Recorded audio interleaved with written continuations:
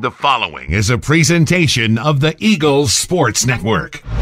This is the Eagles Sports Network and the voice of the Eagles, Adam Cavalier, alongside senior first baseman Taylor Scott Taylor. We wrap up our position previews today with the infield, and much like the rest of the Carson softball program, so many people uh, returned. Uh, and we'll start with you at first base. Uh, hundreds, probably more than 160 starts in your career at first. How are you hoping to wrap up your tenure here at Mossy Creek? Uh, I've just kind of been working on my mental game, just staying more mentally tough, swinging at my pitches, and just bettering myself. What's the biggest difference do you feel from your junior year to your senior year as you enter this season?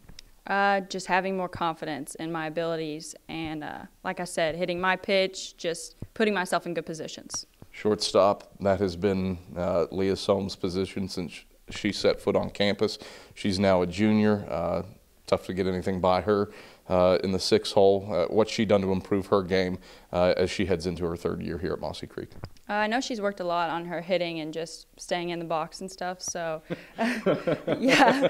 Um, but she's the most competitive player we have. You know, she's going to give 100% no matter what. And a ball doesn't need to leave the infield for her to get on base. How yeah. valuable is that? Oh, that's huge. Like everyone always says, speed never goes in a slump. So that's huge. Uh, a couple newcomers, uh, at least uh, in the tentative starting lineup. And we'll start with Shannon Smith at, at third base, a reserve catcher as well. Uh, what she bring to the table? Uh, Shannon is super athletic, so she'll be successful no matter where you put her.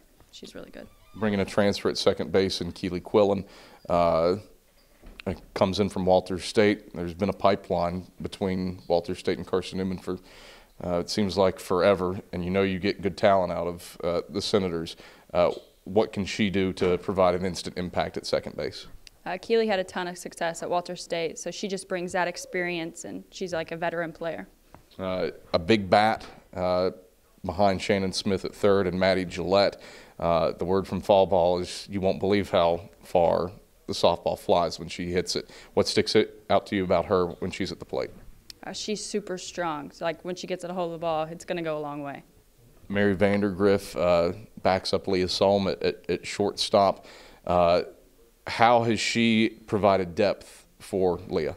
That's Mary's huge there. She's super athletic. She's super quick. So she she kind of challenges Leah too. So it makes Leah better as well. A couple of freshmen in the mix um, behind Keely at second base and Juliana Savone and Peyton Day. Again, you can throw multiple bodies uh, out there if, if you need to. What makes uh, Day and Savone a little bit different from Keely? Uh, depth is huge. Uh, both of them are pretty quick and they've got good range. So, like I said, like, we could throw in a different lineup anytime. There's a lot of depth out there. Uh, wrap up with another freshman behind you at first in Haley Schultz. Uh, what sticks out to you about her game? Uh, Haley swings a good bat and she's good defensively. So she's really just challenged me and pushed me to be better. Biggest takeaway from this group uh, as you start the season just a couple days from now? Uh, we're excited about it. We're working hard and we're just going to go out on a high note. Taylor, thanks for the time. Good luck this year. Thank you. That's senior first baseman Taylor Scott. I'm the voice of the Eagles, Adam Cavalier, and this is the Eagle Sports Network.